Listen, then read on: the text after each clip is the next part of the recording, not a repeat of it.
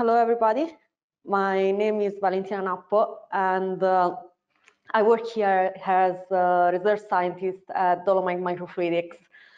My role in the company is to develop new applications uh, for our microfluidic systems, uh, but also to uh, help customers uh, to develop custom solutions uh, for other different applications.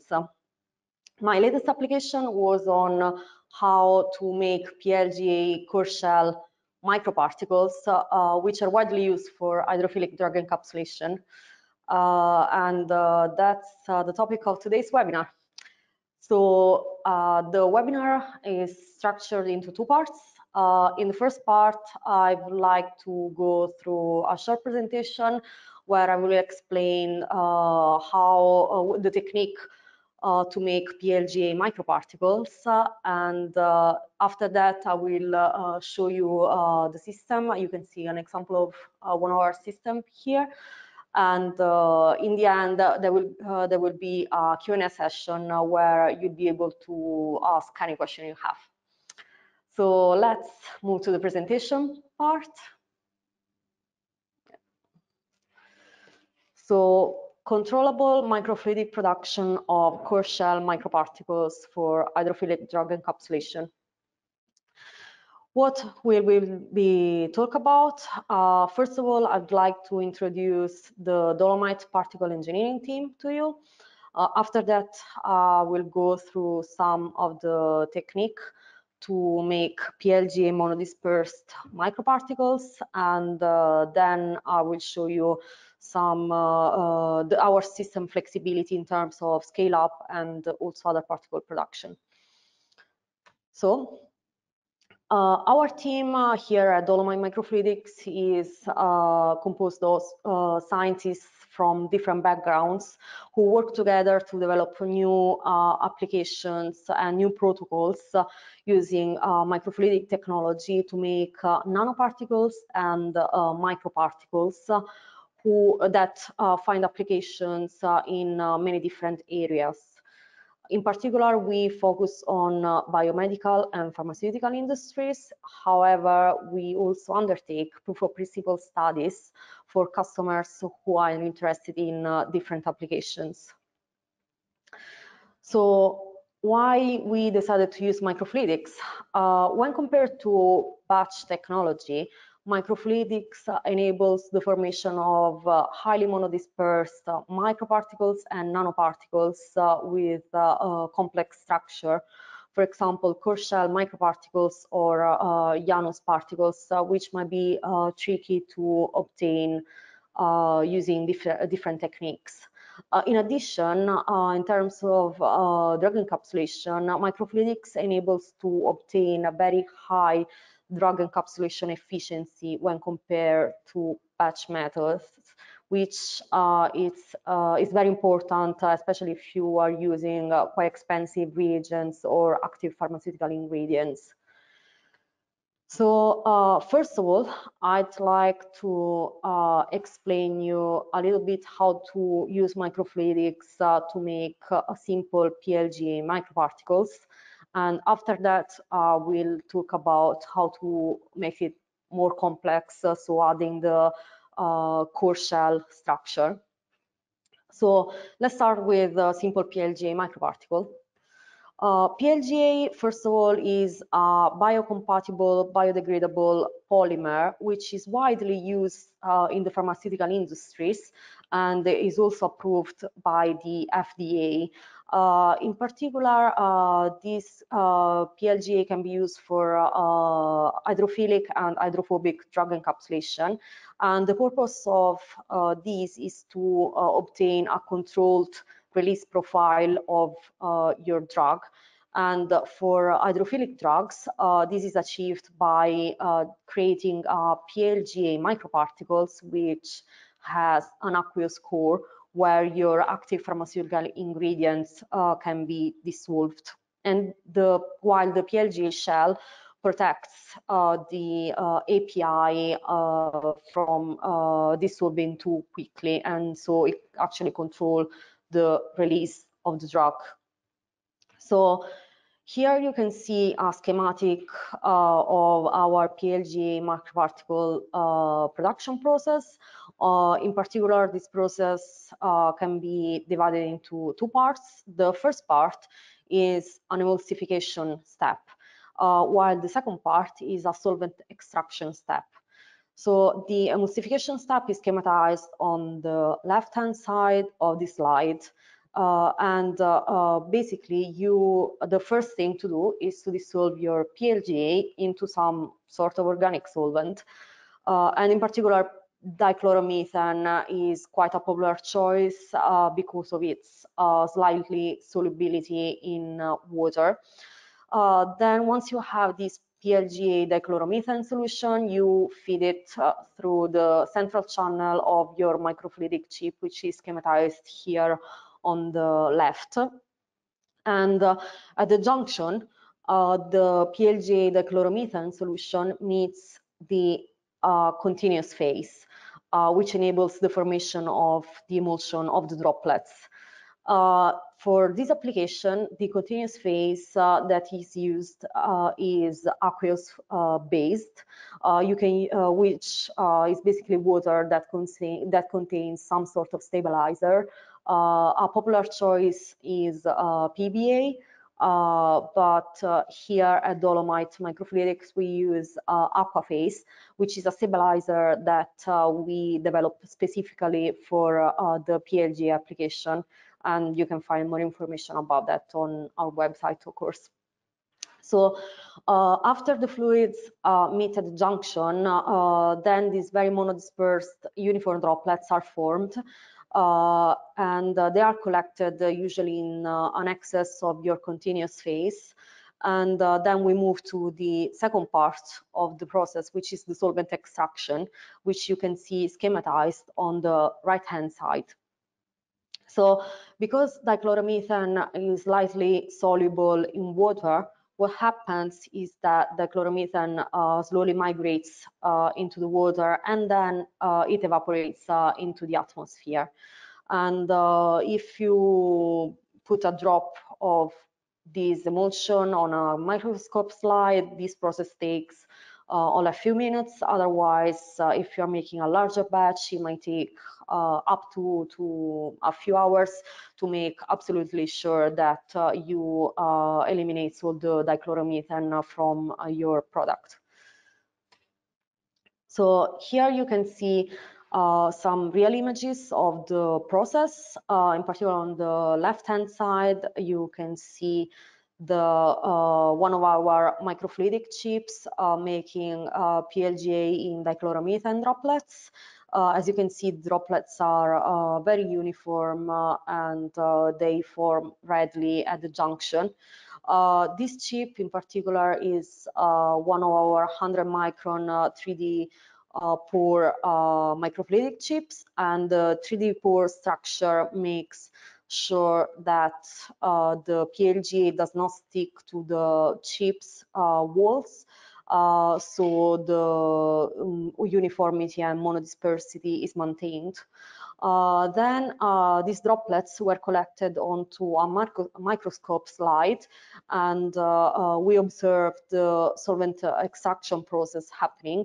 and you can see these on the right hand side of the slide. So if you read the images from the top left corner uh, to the bottom right corner, you can see the PLGA dichloromethane droplets slowly shrinking uh, until they reach uh, their final uh, size uh, in the top, uh, sorry, bottom right corner where you are left with only solid PLGA beads which contain no dichloromethane. So uh, uh, as I said on a microscope slide, uh, this process only takes uh, a few minutes. Uh, these images were taken uh, like 30 seconds apart, so it's going to be in total just a couple of minutes. So this is how the process looks like for simple PLGA beads. so let's now move on to the core shell structure. So here you can see a schematic of uh, how to make uh, the core shell uh, PLGA microparticle. Uh, the technique is very, very similar to what I explained before, uh, but instead of using one chip, you are this time using two chips. Uh, and you, can, you can see a schematic here at the top left side of this slide. The first chip is actually used to generate the first emulsion, uh, which is uh, your uh, your API, your active pharmaceutical ingredient is dissolved into uh, water or some aqueous solution that you would like to use, and uh, uh, we it's fed through the central channel of the first chip and in this case, we use uh, PLGA in dichloromethane uh, as a continuous phase. So uh, this allows us to generate a primary emulsion of tiny water droplets uh, which contain your hydrophilic drug into a PLGA dichloromethane uh, solution stream. And uh, this primary emulsion is then fed to a second chip using just PTFE tubing where the secondary emulsion is formed. And uh, in this chip, we use uh, aqua phase as continuous phase, as I showed you uh, before. And this enables the formation of the secondary emulsion, as you can see. Uh, after that, the extraction process, the dichloromethane extraction process uh, looks exactly uh, as I uh, showed you before. There is nothing different. So uh, as I said, it's very similar. And this enables to obtain uh, particles, very, very monodispersed and uniform microparticles. And you can see an example on the right-hand side of this slide. So uh, here uh, you can see an example, uh, you can see some real images of the of the process, uh, what it looks like on uh, real chips. So in the top side uh, of the slide, you can see the first chip where the primary emulsion is formed, which again is your aqueous droplets into a PLGA dichloromethane solution stream, which is used as continuous phase. Uh, and uh, this primary emulsion, which is formed in this chip, is then fed to the second chip, which you can see in the top side, uh, sorry, bottom side of this slide, uh, where the secondary emulsion is formed. And in order to drive these fluids, we use uh, pressure pumps. Uh, you can see an image of one of our pressure pumps at the top left corner of this slide. Uh, uh, but uh, I will show you I will show you the the real pump after the presentation. So here you can see some results, an example of the results we can obtain using the technique, the technique I just showed you. Uh, on the left-hand side, you can see some uh, 50 micron PLGA droplets, uh, which contain uh, 14 uh, in uh, 14 micrometer diameter inner droplets, which is your aqueous phase while on the fifth on the sorry on the right hand side you can see uh, again 50 micrometer PLGA droplets. So the uh, the diameter of the uh, PLGA bead is, is, exactly the same, but this time uh, they contain uh, three micrometer uh, aqueous droplets inside.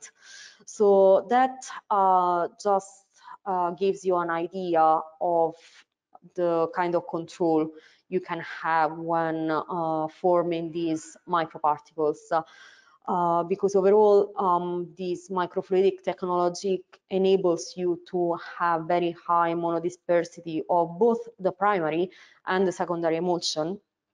Also, uh, using this technique, you have precise control over the number and dimension of the inner aqueous droplets that you are trying to encapsulate. It is also very easy to control the PLGA shell thickness, which uh, can just be controlled by changing the PLGA concentration into your PLGA dichloromethane uh, solution. and overall uh, you have uh, precise control over the amount uh, of the aqueous phase encapsulated which is actually uh, your goal prob probably uh, having uh, the right amount of active pharmaceutical ingredients encapsulated into the your PLGA bead. So what I just showed you was our single channel system, uh, of which you can see an example here on the left hand side. Uh, this is one of our microfluidic system setup, uh, and uh, uh, is here we are using one of our single channel chips, which means there is only one channel on each chip, and this is great for research purposes when uh, you are still invest investigating your materials and uh, you still uh, don't know what your process look will look like Uh, and uh, so that's uh, that's perfect for this purpose. And also uh, if you have if you're using quite expensive reagents or expensive drugs you can minimize the amount of material you use using the single channel chips. However, once you have uh, figured out your process and uh, you know what uh, the steps look like, you probably want to move to some sort of production scale. And you can do so by uh, using our high throughput system, which we call Telos.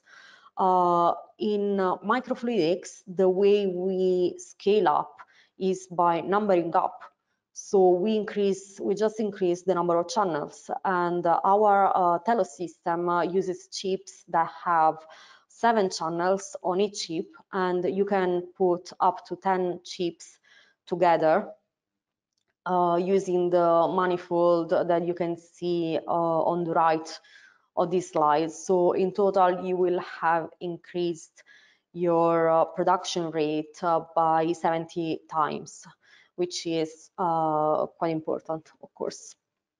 So if you want more information about our Telos system, you can find some information on our website, of course, uh, uh, or uh, you can contact us directly, uh, and we are happy to go through uh, the system with you.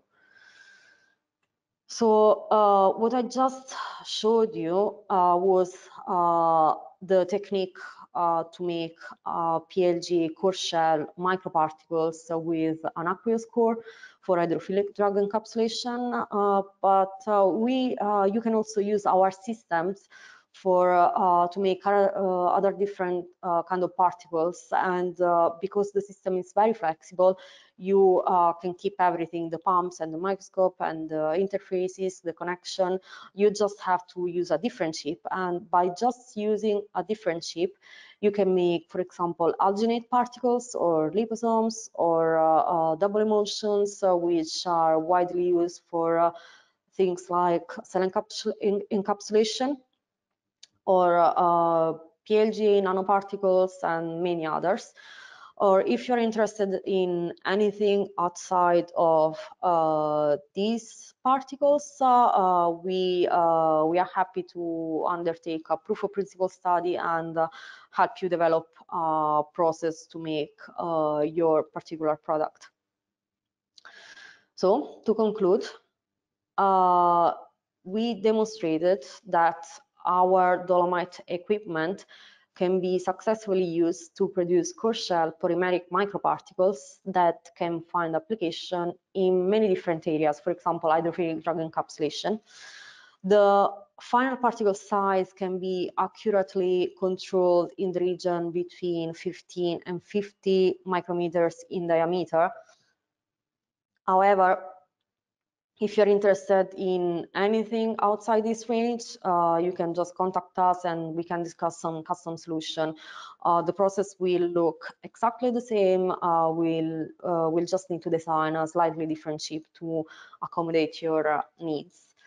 Uh, our Dolomite processes can be scaled up to pilot plant quite easily using our high throughput system, which we call Telos Uh, if you want to know more about this application, you can, of course, visit our website in the multiple emulsion uh, section. Uh, and uh, if you're interest, interested in anything else, uh, on our website, there is also information about other different applications that we uh, tackled in the past. Thank you.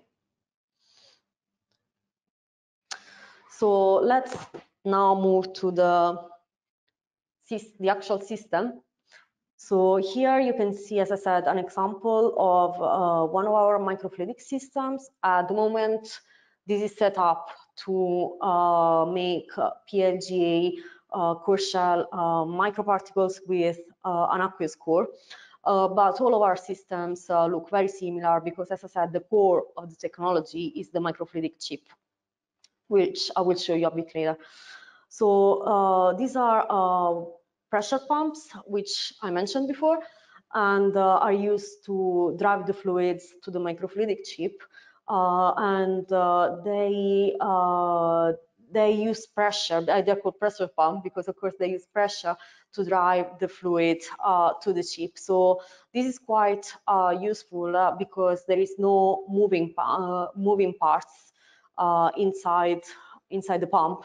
Uh, so there's no syringe, nothing, but the your uh, your chemicals are just uh, in into this uh, chamber, which uh, where you can pop one of these vials uh, which contain your solution. So there is no risk of cross contamination or or anything. You just open the chamber, put the vial in and uh, your uh, uh, reagent is completely isolated from the pump.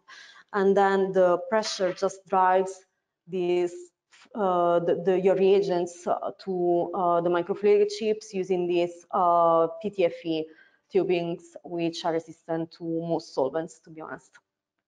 Uh, so once we are here, we can visualize whatever is happening on uh, uh, inside your microfluidic chip using this high-speed microscope. Uh, and this is of course quite important to visualize your microparticles forming uh, um, because I don't know maybe you want to measure them or see if the production is uh, proceeding as you planned at other things and uh, the microscope is connected to uh, our software which is called the flow control uh, center or FCC which enables you to uh, visualize uh, whatever is happening on the chip using the microscope, but also to take pictures or short videos of uh, of your process happening. And you will, can also use the same software, the Flow Control Center, to uh, control the pumps. So you can uh, set a certain pressure if you want to work in uh, pressure mode, or you can set a flow rate if you want to work in flow rate mode. So uh, it's, uh, quite uh, straightforward and easy to use. And it's quite handy to have everything in one software. So you'll be able to overlook your process using just the FCC. Uh, if uh, oh the uh, chip itself is contained into this interface which we call the H interface, uh, which kind of holds the chip in place and enables connection uh, with uh, the PTFE tubings. So the chip is contained here, as you can see, and uh, it's it's quite easy to take it in and out of the H interface. You just have to unscrew this bit and then this this bit and then the chip will just pop out here as you can see uh, and this is the core of the technology and the system as I said is very very flexible and uh, this uh, chip can be easily replaced with a different one. So if you're in, uh, if you're interested in uh, a different application, say you don't want to make uh, PLGA core particles anymore, but you're interested in liposomes or alginate or PLGA nanoparticle instead, you just have to change this bit, the microfluidic chip, uh, take a different one which uh, was developed especially for the application, uh, pop in, pop it in the interface, screw it back in. Here.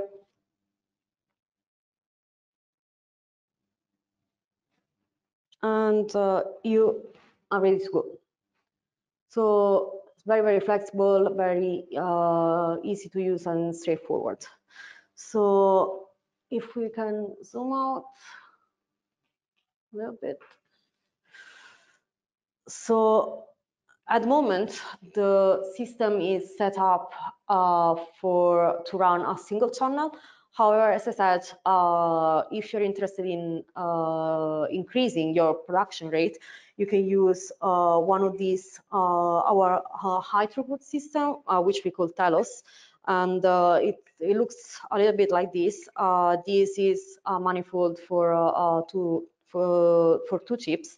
So the chips go actually here and uh, it's uh, quite easy to use and you can have up to 10 stuck together so 10 chips working together in parallel and uh, if uh, you don't want to uh, be uh, limited by the amount of reagent you can pop into this vial then you there are other solutions you can connect our pressure pumps to larger reservoirs like this uh, which can hold up to half a liter of reagent. And in this way, you can do longer production runs.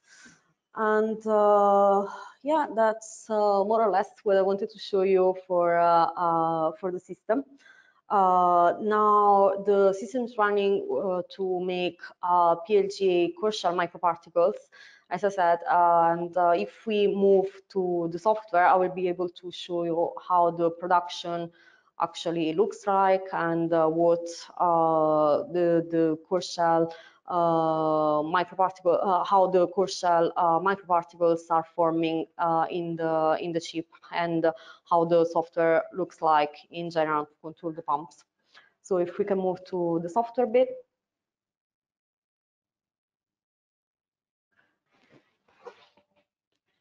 Yeah, here you can see the system running and making uh, multiple emulsions of PLGA with uh, uh, containing uh, water, tiny uh, water droplets. Here you can see in the center channel the primary emulsion. This is the second the second chip. So here we're forming the uh, secondary emulsion already. In the center channel, you can see the primary emulsion coming through and uh, from the bottom and the top channel there is the aqua phase which is our continuous phase coming. And at the junction uh, the droplets form uh, and as you can see the droplet formation is uh, quite stable. Uh, all the droplets uh, look very identical to one another.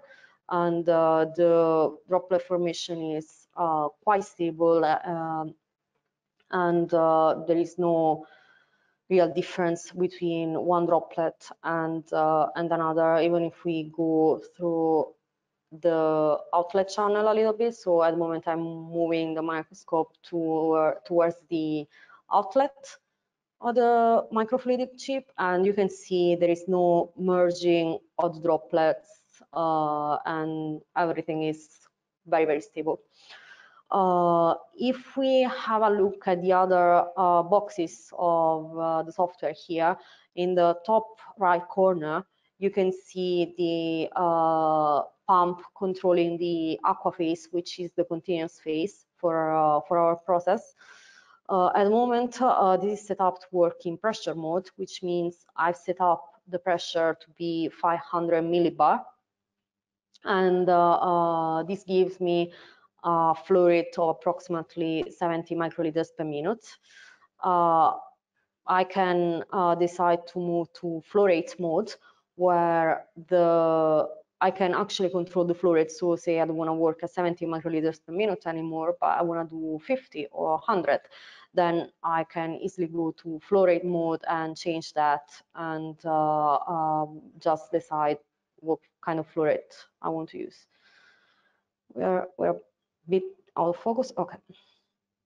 So uh, what in the bottom left corner, you can see the pump controlling the uh, PLGA dichloromethane uh, solution, which is coming through the center channel. And at the moment, this is running at about five microliters per minute. Again, this is in pressure mode, but uh, it is just as easy to uh, use the flow rate uh, control mode and uh, just decide what flow rate you want to use and go there. Uh, there is no actual limit to which flow rate you can use. Uh, it really depends on your fluidic path and uh, your pressure. The pressure, the our pressure pumps are rated up to 10 bars, so which is uh, quite quite high for for this kind of devices. So it's um, it's it's more than enough. So as we are seeing now with the droplet productions uh, production is still continuing as uh, before. Uh, it's quite stable. Now it has been running for a few minutes and um, it's really stable and the droplets look very uniform and monodispersed. So if uh, you have any, uh, any question about the software, uh, we'll, we'll answer that in a moment. So if um,